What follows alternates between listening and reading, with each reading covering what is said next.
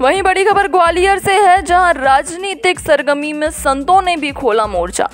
Computer बाबा ने दल बदलने वाले विधायकों को कहा बिकाऊ दल। भाजपा व शिवराज पर लगाया लोकतंत्र की हत्या का आरोप। दल बदलू विधायकों को जनता के वोट बेचने वाला बताया। लोकतंत्र के हत्यारों से देश बचाओ गद्दारों के ना, लगे नारे।